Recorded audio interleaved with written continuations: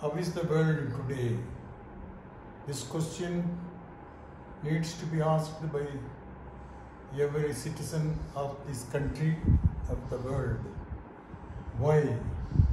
We all thought we will be progressing, evolving towards a civilized society. But there are so many developments that give concern to the contrary. Recently, I think as I speak, there is a Chinese Party National Congress in Beijing, in which 5,000 delegates appear.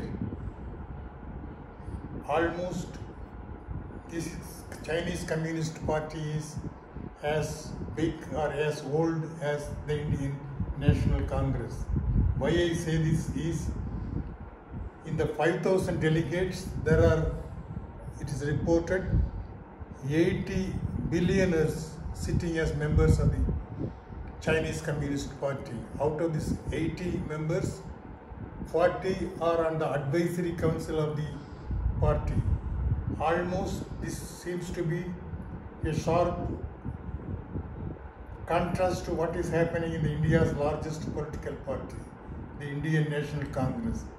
There are rich people, we don't call them billionaires, but they are almost billionaires and they are influencing the Congress party's ideals and future.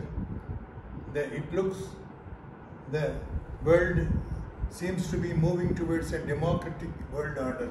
It's not so, unfortunately. The war in Ukraine seems not ending. So, this will all lead to a sort of a new world conflict, which I am afraid we should all try to think about and try to do what we can do individually and nations to bring a peaceful order. As I speak, there are some lakhs of refugees crossing the borders, and just last week we read the great tragedy of a boat carrying 300 people hit the rocks near Italian coast, and out of which some 40 people and lot of children were drowned. What a tragedy. Do we read all these things and worry about? No. Our society today, looking right now around me, I find there is no elite society, enlightened society, upper class society to care about politics and public affairs. We seem to run a politics that is touching the lowest common denominator, and there are so many scandals and corruption charges, criminal cases. Is this what we all want to have in this age and time? We have to seriously think our education should be radically recast and lot of history should be taught and tell people how these things can be avoided.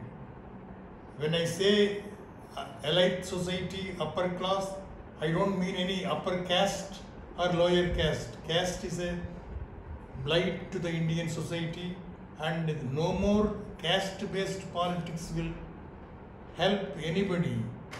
It will not integrate society in a harmonious manner into a class system. Whether we like it or not, there is a class system in our caste hierarchy and we have to look to other states how this elite society is helping at least to give hopes for the future. Take Bengal, there is a Bhadralok society. Do we have something like that in Tamil Nadu? No. Even there is a, an elite society in Kerala, neighboring state. So we should compare ourselves with other states, other societies, other democracies, and avoid how the democracies were in the past destroyed by the barbarians. So too a new barbarian class should not be allowed to proceed. Thank you.